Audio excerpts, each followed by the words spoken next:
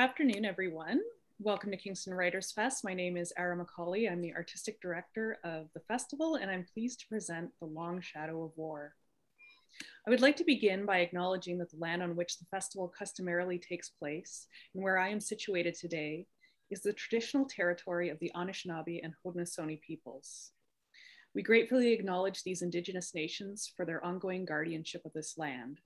We agree to peaceably share in responsibility and stewardship of this land, its waters, and all of its biodiversity. All those who come to live and work here are responsible for honoring these relationships in a spirit of peace, friendship, and respect. I'd like to thank the Canada Council, Canadian Heritage, Ontario Arts Council, and the City of Kingston and Kingston Arts Council for their ongoing support of the festival. We're grateful to all the organizations and individuals who support us. For this event, I would especially like to thank Connie Corbett in memory of Beatrice Margaret Grant Blackstock Corbett, author patron of Eric Friesen, and Lynne Kenny and Virginia Gordon, author patrons for Guy Vanderhaeghe. This event is an hour long and includes a question and answer period. You're welcome to type your questions into the Q&A box, which is located at the bottom of your screen anytime during the event. As a thank you for, to you for continuing to support Kingston Writers Fest and joining us for the virtual edition of the festival, we will randomly select a pre-registered participant of this event following our Q&A to win a copy of the book. We are doing this for each onstage event throughout the festival. Now I'm delighted to introduce this event's presenter, Eric Friesen. Eric is a broadcaster, writer, and speaker on music, culture, and faith in both Canada and the United States. He was a network host and executive for both CBC Radio and Minnesota Public Radio, NPR. For CBC, he hosted such programs as Studio Sparks, On Stage at Glenn Gould Studio, and In Performance, as well as a celebrated documentary series, The Concerto According to Pinchas and The Concerto According to Manny. Eric was the founding program director for Winnipeg's new classical and jazz station, Classic 107, and is a consultant to the New Zealand's Concert Network. He also continues to serve a wide variety of major cultural organ organizations nationally and internationally, teaches at Victoria College University Toronto, and co-hosts a book club in the maximum unit of Collins Bay Prison Institution in Kingston. Please welcome a former chair of the board and friend of the festival, Eric Friesen. Thank you so much, Ara, and uh, congratulations to you and all your staff for keeping these writers' fests going during this uh, challenging time. Uh, my joy to be here and especially to introduce and welcome to Kingston Writers Fest the novelist, short story writer, and playwright Guy Vanderhaeghe, who has a new novel called August into Winter. Many of you know that he has three times been winner of the Governor General's Award for Fiction. He's won a host of international and national awards. The one I like particularly is 2004. He won his book, uh, The Last Crossing, won Canada Reads when Jim Cuddy championed it. And he beat out, let's see, Tom King, Alice Munro, Monique Proulx, and Mordecai Richler, no less. So his bibliography now six novels, four short story collections, and uh, two plays. Many of you know his trilogy of novels, uh, The Englishman's Boy, uh, The Last Crossing, and The Good Man and um, and uh, terrific novels they are. And we've got a new one now to talk about. He's received the Saskatchewan Order of Merit. He's received the Saskatchewan Lieutenant Governor's Lifetime Achievement Award, and he is an officer of the Order of Canada. Guy was born and raised in Saskatchewan, still lives there, his life and work deeply interwoven with that province. So now, 10 years after his last novel, we have this new one, August into Winter, set mostly in Saskatchewan. But Guy has moved out of the 19th century into the 20th, and particularly into the year 1939, when the Spanish Civil War is uh, coming to a close. World War II is on the horizon. It's a, it's a thriller, it's a story of evil, it's a love story. International politics is involved, the shadow of war, of course, as we've heard, and some, some redemption as well, and always with Guy's sense of dark humor. And and I have to say, with another splendid cast of Vanderhaeghe characters who live out their drama in the soil of southeastern Saskatchewan. Guy is joining us today from his home in Saskatoon. So, Guy Vanderhaeghe, welcome to Writers Fest. Thank you very much. It's a great delight to be here. So I'll have you read a little bit from the new novel in just a moment, but uh, a couple of questions first. You're a writer of historical fiction, so why the year 1939 when you decided to come back, come to the 20th century? Um, I think because it, it's a huge transition point in the 20th century, particularly after uh, 10 years of depression and drought if you were living in Saskatchewan, uh, extraordinary, extraordinarily difficult economic times and also extraordinarily difficult economic times. Um, the world is going to be changed by a global war, uh, a war of even greater extent than the First World War was.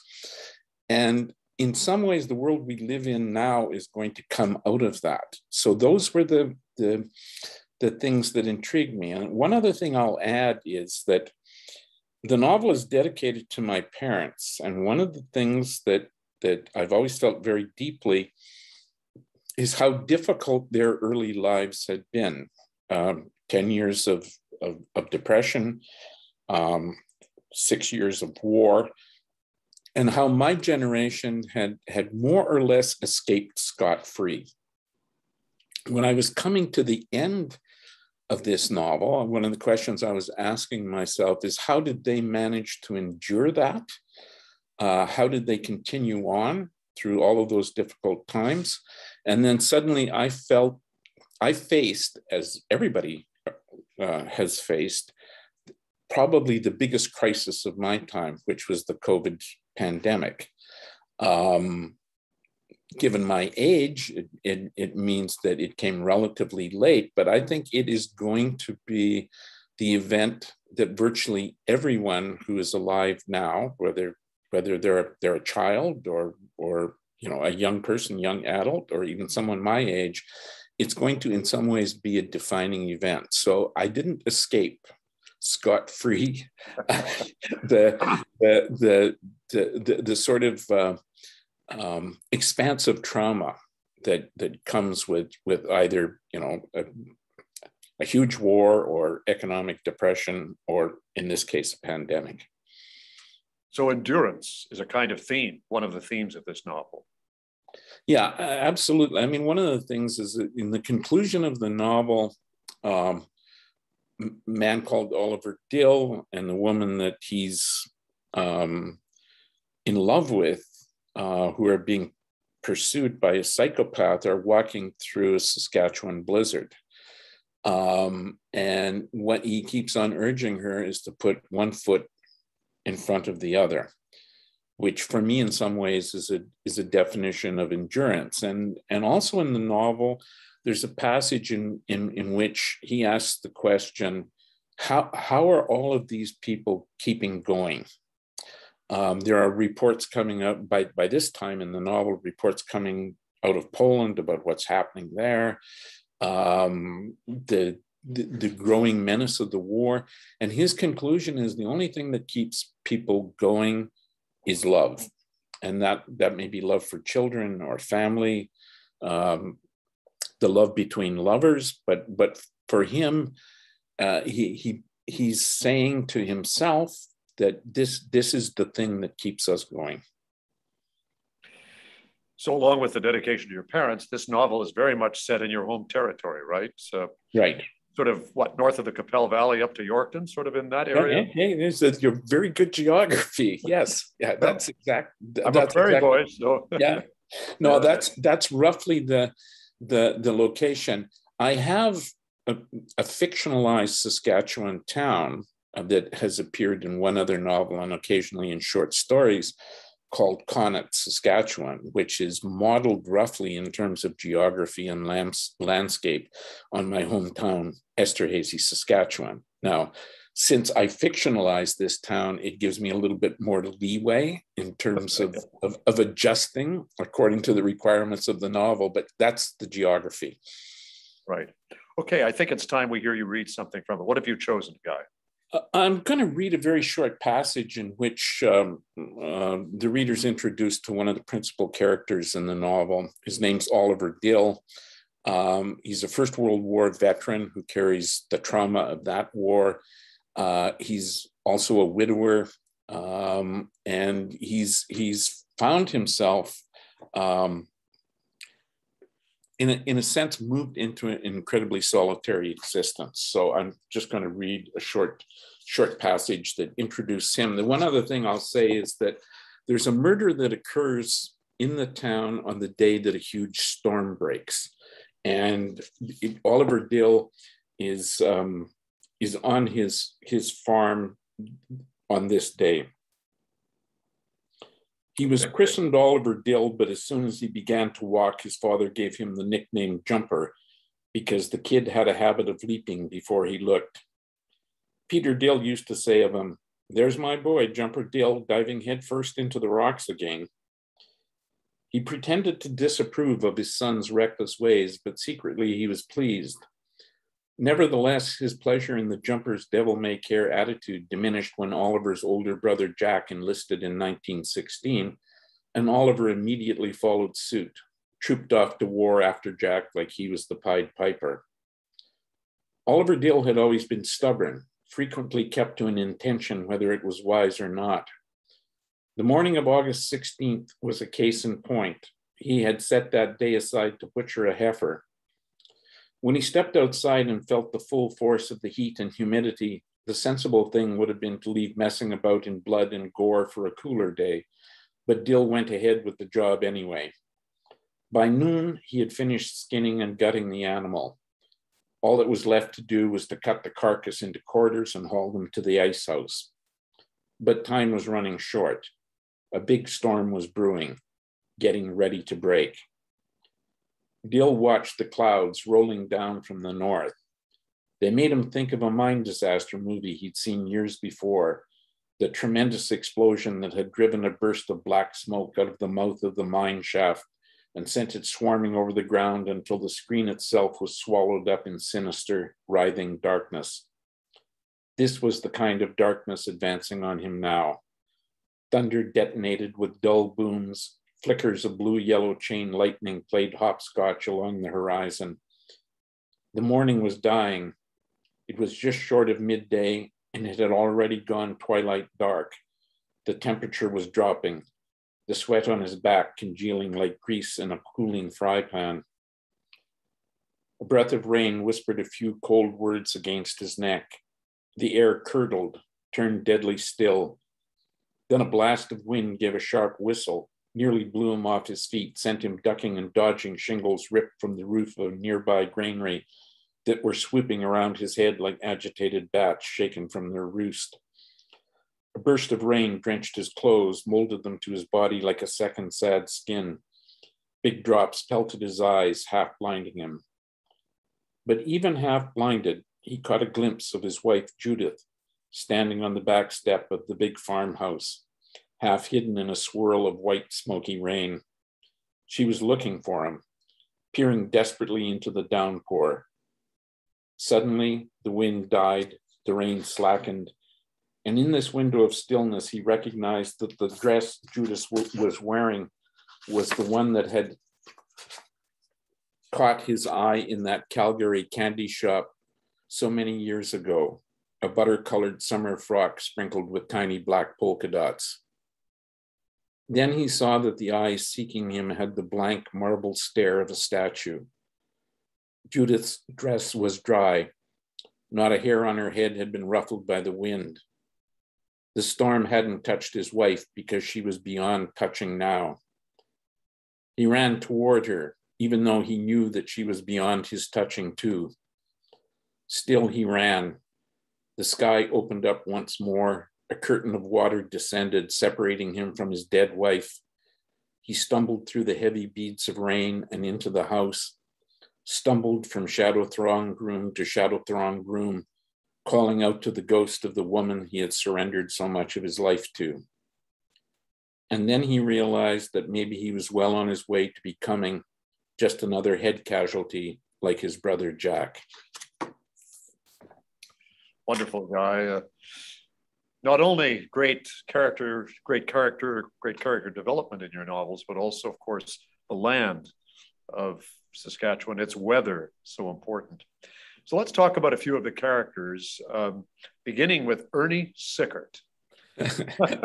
who's everyone says that. Yes, everyone says, says that name with a, a an up uh, eyebrow. Yeah, yes. Ernie Sickert, who's he's evil. He's a he's psychotic. He's a murderer. He's a confidence man, but richly drawn and very entertaining. Have you ever created a character like him, Guy? I think probably the, the closest I've done before, which was a rehearsal, uh, was I, I, had a character in A Good Man called Michael Dunn, who who shared some of the characteristics of of Ernie Sickert, but but Ernie Sickert is is kind of Michael Dunn carried to the nth degree, I suppose. Do you have a model for him? I mean, um, okay, this is going to sound very, I suppose, very strange as I was writing the character and, and developing the, the contours of his personality, um, it was about the time that uh, Mr. Trump got elected um, president of the United States. So Ernie Sickert shares some characteristics that I think of as Trumpian. Um, he's self pitying, he's vain, um, he's arrogant, um, he he always assumes that that he's right uh, and that the world is wrong. Uh, so in an odd way, uh, there is something, at least in my mind, I don't think perhaps anybody else would detect it. That's that's Trump-like. Now, I'm not suggesting that that Trump is a serial murderer. I'm just I'm I'm saying that in some ways. Um, he, he gave something to Ernie Sickert. Now, I don't think this was conscious on my part. I wasn't thinking I need to draw a, a Trump like character, but I was so obsessed uh, with news reports of Trump uh, that I think by almost by process of osmosis that some of his characteristics congealed uh, with Ernie Sickert. Wow. That I wasn't expecting. no, I, probably not. No. well, he's he's quite something, as I say, uh, richly drawn. So uh, you've already introduced us to Oliver Dill, or Dill as he's called throughout most of the novel. Uh, and then there's Vidalia Taggart, Jill's love, uh, Dill's love interest, the woman he falls in love with. Uh, I, I, as I think about it, thinking back to your other books, you have a special talent for drawing female characters, for creating female characters. And I don't know how to say this in any other way, but you must love women as a species, as a as a, as a, as a gender. What what the hell do I call them? Yeah. I mean, one of the things is that when I was a child, um, I spent a lot of time with my grandmother, who who was a remarkable woman and somewhat eccentric. Uh, and of course, I've, I've mentioned this on several occasions. I think of my mother as a proto feminist. Um, during the Second World War, she served in the Canadian Women's Army Corps. Uh, she was a sergeant major. Um, when she left that corps, like like many women, she was expected to basically go back to the kitchen. That didn't sit very well with my mother, especially in that time.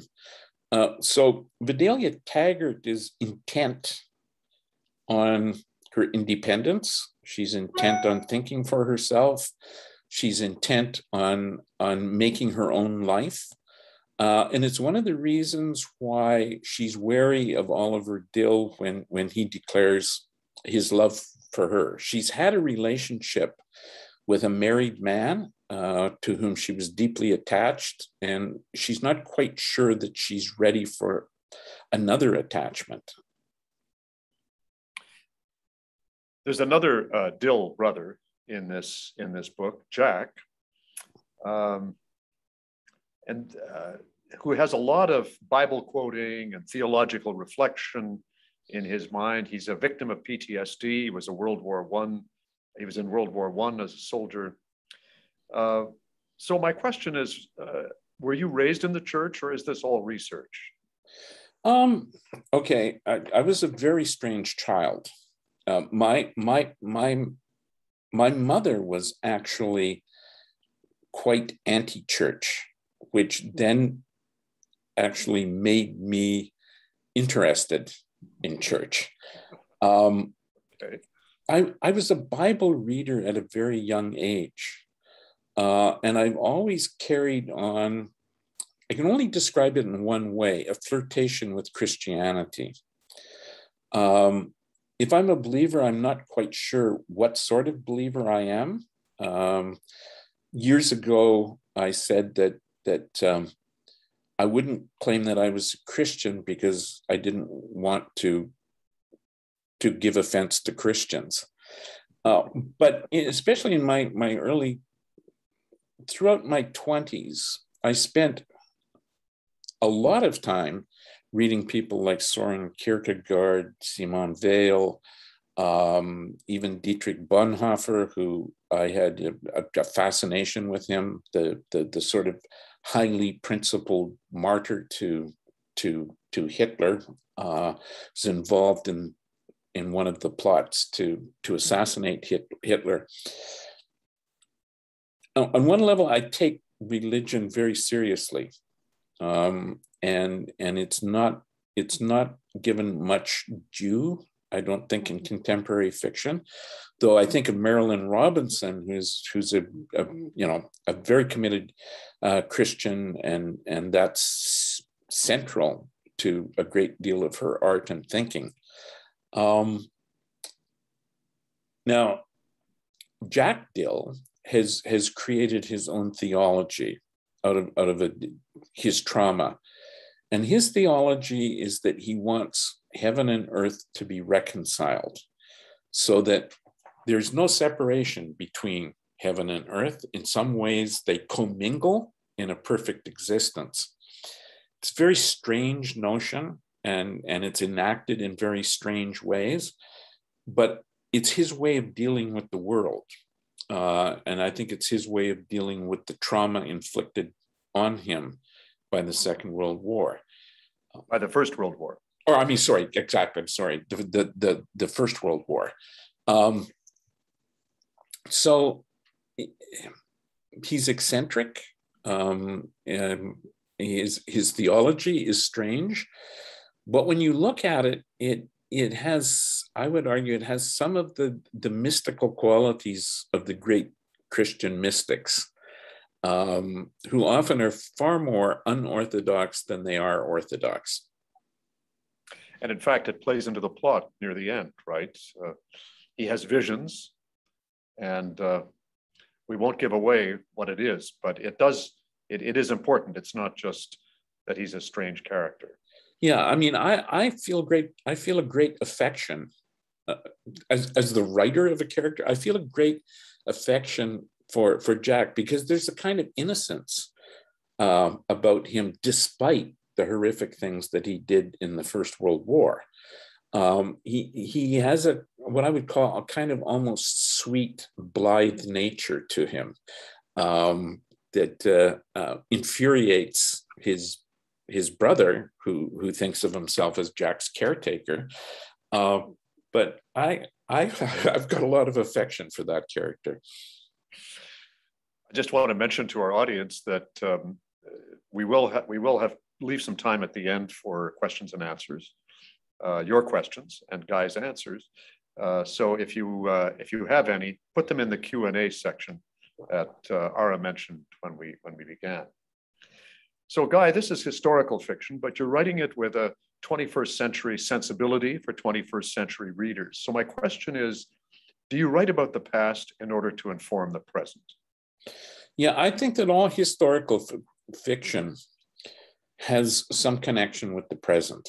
It, it, it can't avoid that uh, because we, as living in the contemporary world, we are actually immersed in contemporary questions. So one of the things that I think that historical fiction does is that it offers warnings um, to the present in in a certain way and but by that i mean um, often if you read history and i did study history at the university history is an analytic discipline that explains how something happened that is how did we get to the point where we are now. Okay. That may suggest to many people that that that those people in the past were in some ways kind of dim. They were kind of stupid. They couldn't see what was happening. I think what historical fiction does reminds us that the people in the past were as bewildered, as unable to predict the future as we are today. Um, we are confronting all sorts of things and we don't know what the outcome is going to be. So when Neville Chamberlain declared peace in our time, in retrospect, we can say of Neville Chamberlain, you fool. How, how could you believe that? But millions of people believed that. He was cheered when he came back to, to London, to England. Absolutely. He was applauded. He was a hero. Right. Um, and and if historical is is if historical is fiction is written as as as if the writer of it is inhabiting the minds of the characters at that period i think that the very best historical fiction doesn't condescend to those people right? It treats them the same way that contemporary fiction treats contemporary characters. Um, so i mean that's one of the the I, I think one of the things that that historical fiction can do for us the other thing that that maybe not so much on the surface this novel engages with is something that's concerned me for almost 10 years and that's the rise of the radical right so there's a character in this novel, Dove Schechter, who volunteers for the Mackenzie Papineau um, battalion to go and fight in Spain. People in the 1930s were, conf- were confronting a, a, a great upsurge of the radical right. And, and they, they, had to, they had to make decisions about how they were going to act in the face of it. Some people gladly gladly decided that this was the answer for them for the future. Other people, as as often happens, didn't pay very much attention to what was going on, and other people were, were terrified about what's going on. At this moment, looking, for instance, in, in Europe and North America and South America and virtually all over the world, I think we see the beginnings of, of, of a real upsurge in the radical right. And when I'm saying radical right, I'm not talking about conservatism. I'm, I'm talking about a right wing attitude that's linked to, to violence, that's often linked to racism, and that's anti democratic. So, in some ways, because this has been lurking in my mind for some time. It was one of the reasons that, that the novel actually opens with the great confrontation with the radical right, uh, which was the Second World War. Um, and in 1972, if someone had said to me, communism will be dead, the Iron Curtain will fall, I would have said, you're crazy. You know, this, this monolith is, is here for a long time. I would have said that they were crazier if they had would have said to me that fascism would have a revival. I would have thought that that Hitler, the Holocaust, um, all of that would have discredited a kind of fascist ideology forever. But here in the United States and in Europe and all sorts of other places, people are marching with swastikas on their arms. Um, I didn't I didn't think that that would happen. What about Canada? Well, you know, it's in a sense, and I, I, I, I you know, I, I don't want to. Uh, how would I put this? Where the United States goes, we often follow.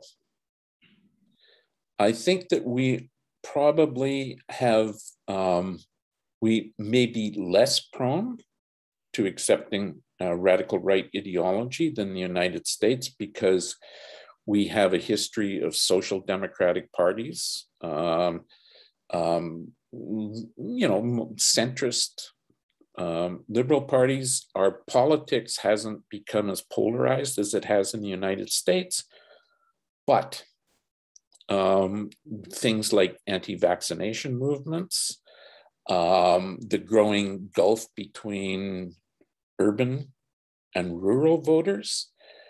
Uh, there, there are there are rifts uh, present in this society, and and that troubles me. Um, I I don't want to suggest that we're in the state the world was in 1939, but what I do want to suggest is that we have to think very carefully about how we how we deal with manifestations of violence and how we how we deal with with a, poli- a politics of polarization. Uh, because politics of polarization as it did in europe uh, drive citizens of of a single country into becoming enemies. And and and when that happens when dialogue stops then democracy's in very great danger I, should, I sound very, I sound very preachy at this moment. I have to apologize for that. No, I, I, I asked the question about Canada, and yeah. I want to pick up on this urban-rural split in this country. You and I are both from rural prairies. I'm right. from a small town, Altona, Manitoba. You're from Esterhazy, Saskatchewan.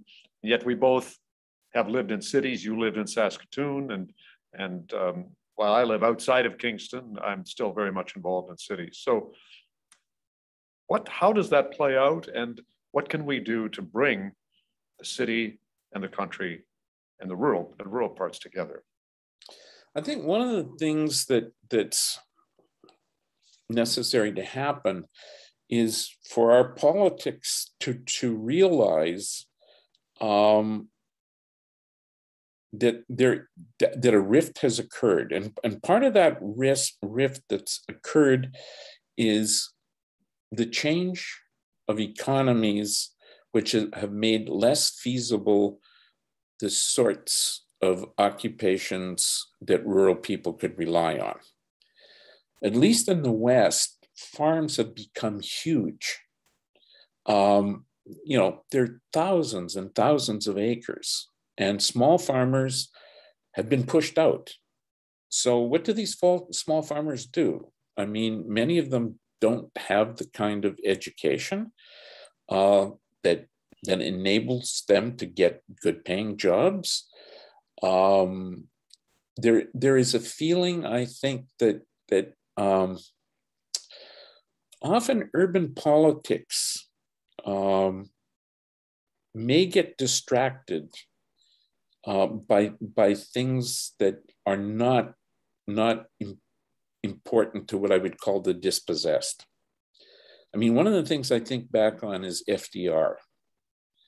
He built a huge alliance between blacks, poor white farmers, labor, uh, even even certain elites by by focusing on questions that were very important to them. The same thing I think is necessary for politicians now is actually to focus on things like economic issues, to focus on, on, on, on matters that concern people who are struggling to, to make a living. I think that would do something. Um, and one of the things is that uh, I think that both sides actually have to realize that that um, demonizing the other side uh, only creates problems. If urban people think that rural people are nothing but rednecks, right? Um, that they're kind of stupid hicks that don't know what's going on. And people in, in rural areas think of people who live in cities as being elites uh, who look down on people in rural areas.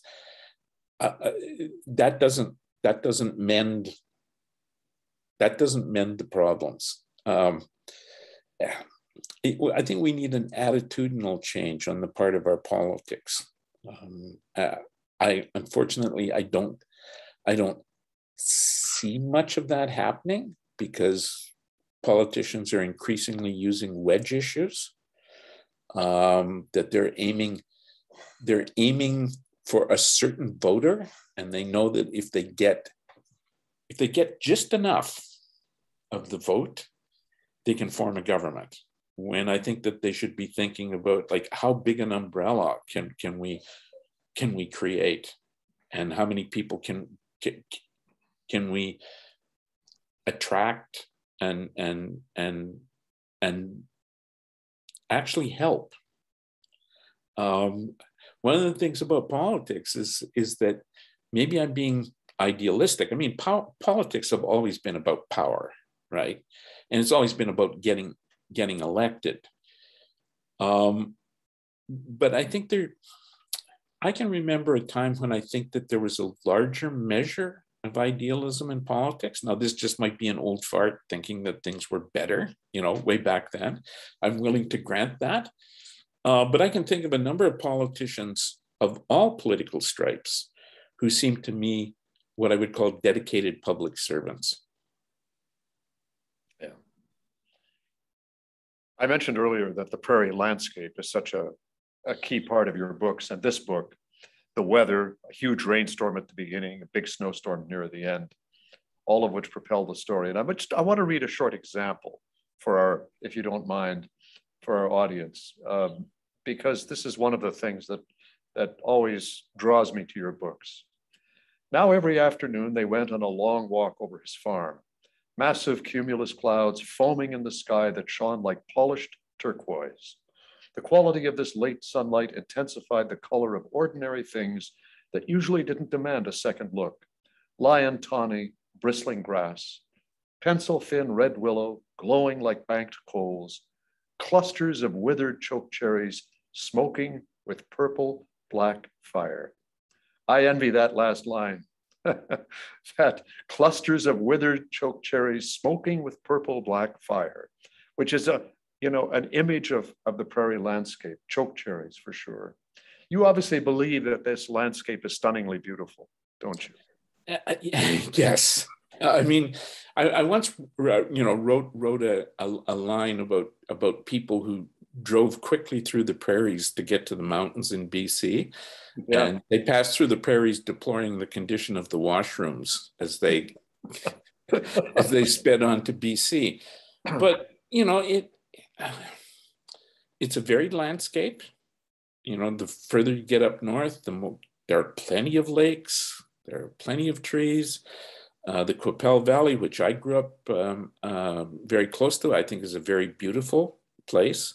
I lived in southwest Saskatchewan, um, comparatively close to the Cypress Hills. But even the flatness of the prairies, if you walk it and you actually pay attention to what you're looking at, in, in my books, it's it's stunningly beautiful. And nobody gets the kind of skies we get, particularly in this month in September. Okay. There's there's no sky like a you know a, a September sky. So obviously, I'm a booster. I'm a fan of the landscape. The other thing is because I've spent virtually all of my life uh, there, I don't consciously write landscape. I don't say to myself, now sit down and write a patch of landscape. You know, no more than a writer in New York or Toronto would say, okay, it's time to give you a block of the Bronx or Yonge Street or, or anything else. Uh, it's a setting, but it's also for me um, a reflection, at least in some measure, of of the psychology of the place.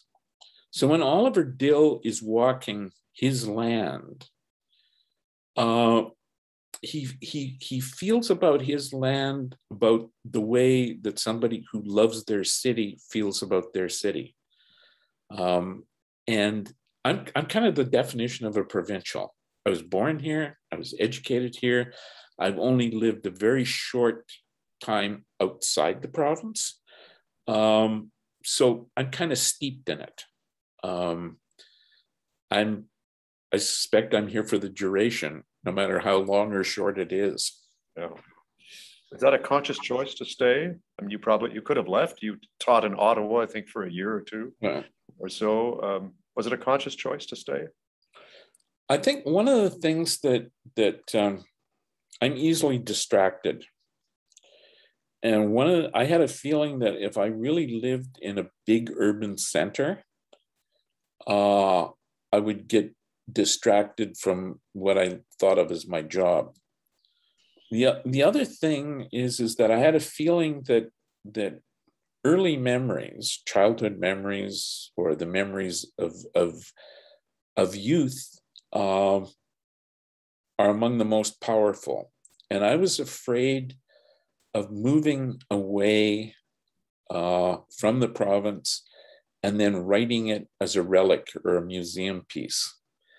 Um, I mean, some of my work, even though I've gone into historical novels, but the short stories are contemporary. And I, I think in the time from my first short story collection, which was contemporary, contemporary meaning the late 70s and early 80s up until my latest collection, actually in some ways have, have charted the changes in the province which I don't think I would have been able to do if I had moved away, or I shouldn't say think I could could do. I wouldn't have been able to do. You always have such memorable titles uh, of your novels, and I when I when I got this book, uh, August into Winter, I just thought, what a fabulous title! Did you did you come up with that? Yes, I don't always I don't always win with my publisher or my agent when it comes into into titles, uh, but I did come up with this, and I mentioned it to a painter friend of mine, and he said, "I want that title for my next show." So, wow, that's a wonderful title. It, it's I mean, it, in three words, it it it sets the scene without setting the date, of course, but. Uh, we know how dramatic that this period of time is. And we've just come through August and now almost finished September. Each uh, chapter of your book, Guy, has a quote from the Winnipeg Evening Tribune uh, in it, right around the date that we're uh, that that the date that that the story is is in. Why did you decide to do that, and how did you choose those? Um, first of all, it was kind of an organizational principle for me because I I w- wanted the progress the progress of the approach of war to be marked in the novel. So as the as the novel developed, there would be this this chapter heading that would kind of give you what the state of the world is at that moment. The other thing is, is that often the the the headings from the novel may reflect uh, some sort of echo in the chapter that's coming. So, for instance, there's a there's a section that deals with a German mystic um, who it, it, being sort of reported that Hitler is afraid of, and and and uh, that that she may be bad news for for for Hitler because she may be able to separate the the peasant Catholic classes from from allegiance to Hitler and then in the, the, the novel that fall, or I'm sorry, the, the chapter that follows, the, there's this character Struthers May, uh, Mayfield who whose whose um, grandmother is a uses the Bible as a as a predictor. Uh, the old, very old practice of letting the Bible fall open, put your finger on a passage, and that that will tell you what's happening. So, right. I, I I hoped in in each chapter heading uh, to to remind the re- reader that we're getting closer and closer to war, and and after war is declared, that we're getting deeper and deeper into the situation, but also to to have a to color, perhaps subconsciously for the reader, what what is going to happen in that chapter. Now that that meant hours and hours and hours of searching through the newspaper for for the for the passage that I thought was was appropriate and that would resonate. You did that yourself. Yeah, yeah. I when it comes to research, I never I would never hire a research assistant because the small stuff that you stumble upon is also the most often the most important stuff. Um, and I'm not when I write a historical novel, I'm not the the kind of writer who has got very clear in his mind or her mind what I need. Right. So I don't go looking for what I feel I need. I just keep on reading widely in the period and then i think oh this this is something this is interesting this is this is something that i can do do something with maybe unexpected give a little bit of twist to that um, so that's the way i work and, that means that i would think that maybe 10% of my research or less ever appears in a novel um, uh, the, most of it never makes makes it into a book that I'm writing. I think we should see if we have any questions from the audience, things that they're desperate to know that I haven't asked. So I do have one question here. This is from Julie, who says, Can you tell us about the last years, 10 since your last novel? What were you working on? Has this novel occupied most of your writing space? Um, I did publish a collection of short stories in that period. And um, I have personal reasons for why it took me so long to do. I mean, one of the things is this, that my wife died almost 10 years ago. And um, I'd married very early. We'd been together for almost 40 years. She had always been my first reader. And in the, the sort of emotional collapse, I think that, that people go through in a situation like that, I wondered if I would ever write again. Then, when I started writing again, I felt that I wasn't ready to take on a big project. So I wrote, I wrote short stories. This book took me long. I'm, I've always been a slow writer.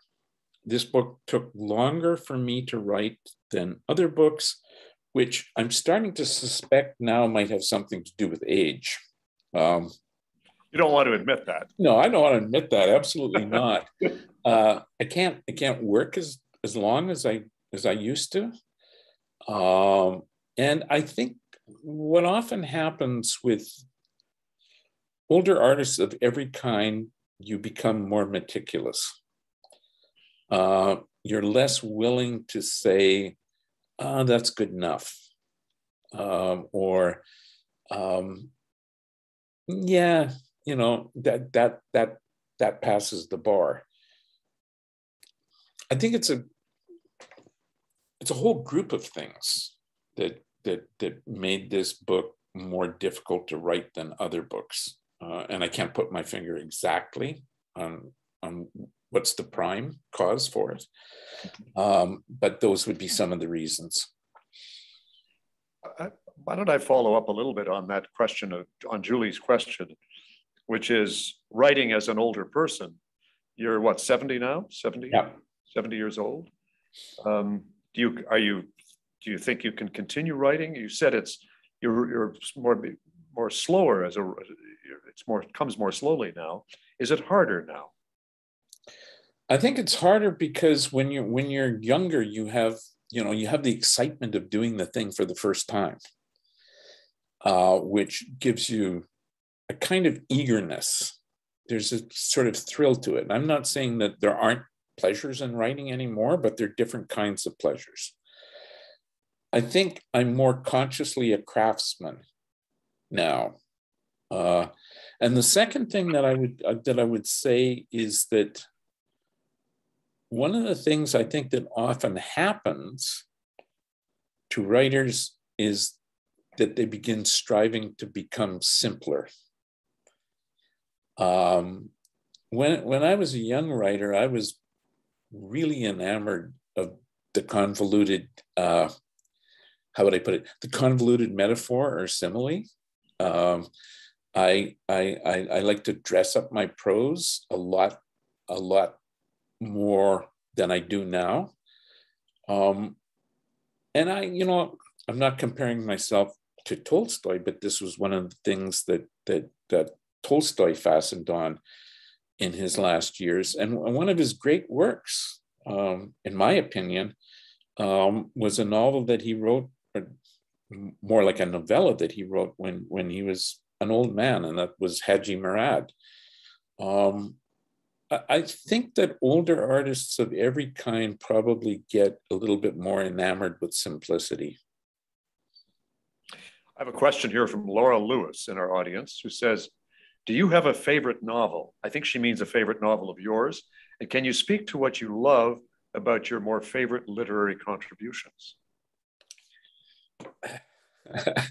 this is this is a um, sounds sounds like one of those things that my mother always warned me about, like don't toot your own horn. Um, I, I, I mean, I think. Go that, ahead. You're 70. Go ahead. Yeah. Well, I guess so. I don't have too much too much tooting left, maybe. Um, I think that one of the things that that okay, I think that that uh, just like often in folk wisdom, like often the ugly child is is the most loved. I really like a Blackley comic novel that I wrote when I was very young called My Present Age, uh, that most people didn't like when it came out. So in a sense, that's a favorite of mine one of the things that that I think that that I would if I were to, to sort of pat my myself on the back, I, I would say one of the things is is that I was always intent on being a Canadian writer. And by that I mean I wanted to write this country and I wanted to write my particular part of this country. I wanted to. Mordecai Richler had had had a phrase about getting right his place and time. I wanted to make some sort of contribution to that, to to to make to make a record uh, of my place and my time. How well I've done it, I, I, it's not for me to say, but I would say that that that was an achievement. Um, and I think that my three historical novels set in the West may have done something to, to show other people in Canada that things happen here. And that the things that, that happen here actually often have national influence. Um, so yeah, I, I, I, I think what I call my rough trilogy of uh, of uh, historical novels. Uh, that and and and my ugly child, the my my black comic novel that was written in my twenties. Those would be the things that I would fasten on. Trilogy is now available as a one book, right? Right. And it's called something else. What what is uh, the Frontier the, I think it's called the Frontier Trilogy. It's it's it's available. It's available as an electronic book. It's just a, it's a packaging thing. I think. Okay. Um, I don't think we have any other questions, so I have one more. What are you working on now? Right now, um, I'm actually considering collecting nonfiction that I've written over the years. And I'm attempting to write a very a long, longish essay, perhaps 150 pages, um, that deals with the writer as public intellectual, uh, for which I'm doing a lot of reading and a lot of research and doing a lot of thinking about. I have novel ideas kicking around in the back of my head. Uh, I'm not sure if if they'll they'll make it to paper uh, or I should say now computer screen. Um, so I'm, I'm kind of in a hiatus at the moment, aside from the, the, the collection of nonfiction. Okay. I want to end, there's this wonderful toast in the novel, in your novel, August into Winter. Dill says to Vidalia, to the confusion of our enemies, which I love. So I'm going to toast this novel and say to you, let's have a drink, virtual, unfortunately, Guy, and to say, to the confusion of our enemies, And thank you for a wonderful book. Well, th th thank you for your interview. It was very, very thoughtful, and and uh, uh, I really appreciate the the the care and, and attention that you paid. So thank you. It was it was lovely. Well, it's worth it. And I just want to say to all the people who are with us today, buy it. August into Winter. It's a fabulous book. Thanks, Guy. Thank you. Um, thank you so much to Eric Friesen and Guy, Guy Vanderhaeghe for this wonderful conversation this afternoon. Um, I would like to congratulate Sharon Bull, who has won a copy of Autumn into Winter. And as Eric says, if you didn't win a copy, they are available for sale at our official bookseller, Novel Idea. Um, if you're outside of this area, we encourage you to find your local independent bookseller and pick up a copy there. And I want to thank you so much for joining us and for supporting Kingston Writers Fest. And be sure to check out kingstonwritersfest.ca for the rest of our lineup. Um, and have a